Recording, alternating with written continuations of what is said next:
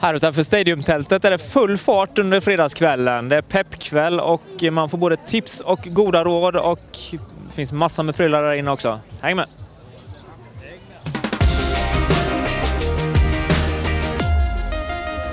Ja, då står jag här med Fredrik Gille från Stadium. Vad, vad har ni gjort här ikväll?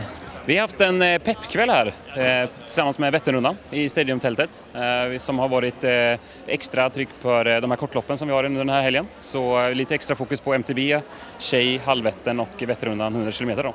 vad har hänt då? Vad har de fått göra och höra? Det har varit mycket fokus på information såklart. Många är nya och åker första gången. Mycket fokus på att vad är börja tänka på. Vätternrundan pratar lite om loppet som sådan, vad man kan tänka på, tips och råd. Enervit pratar lite om energi, hur ska jag tänka på inför mitt lopp och under loppet och efter med eh, äta och dricka och så. Eh, Mips pratar lite om hjälmsäkerhet. Craft har pratat lite om kläder.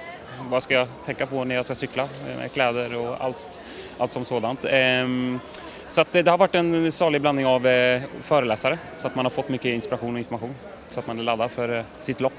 Och det verkar ha varit mycket folk här och tittat och lyssnat. Ja, det var väldigt kul. Det var eh, kö till eh, öppningen klockan fyra här. Det var många som var sugna på att få en goodiebag och lite dryck och lite mat från ICA. Så att, eh, ja, men det var väldigt lyckat. Det är andra året vi gör det här också så att, vi känner verkligen att det här är någonting som kunderna vill ha och vill komma hit för.